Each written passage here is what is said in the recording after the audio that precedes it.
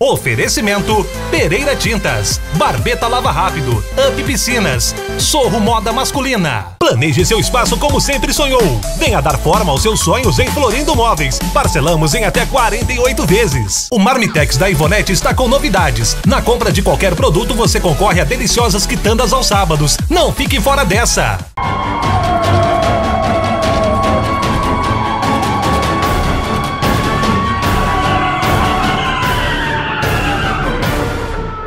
o início do período chuvoso, alguns transtornos acabam ocorrendo e prejudicando o andamento do serviço operacional do Corpo de Bombeiros de Minas Gerais, caso não sejam solucionados.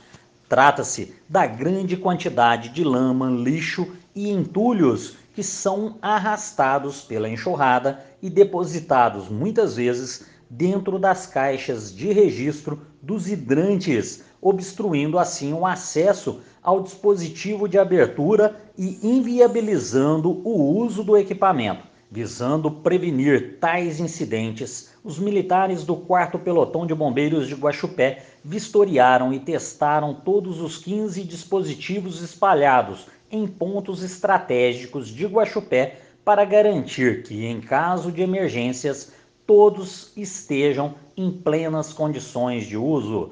Os eventuais problemas encontrados que não são possíveis de solução imediata são discriminados em relatórios e encaminhados à firma responsável pelo abastecimento de água do município para as devidas providências. Sendo assim, em casos de emergências, como incêndios residenciais, por exemplo, os hidrantes estarão em plenas condições de permitir um reabastecimento rápido das viaturas. Guaxupé tem gradativamente retomado as suas atividades. Tudo seguindo o programa Minas Consciente do governo estadual. Sabemos o quanto esta retomada é importante para a economia local, mas isso só está sendo possível porque há bons índices no combate e na prevenção ao coronavírus. Continue utilizando máscaras ao sair de casa, mantenha o distanciamento social e evite aglomerações.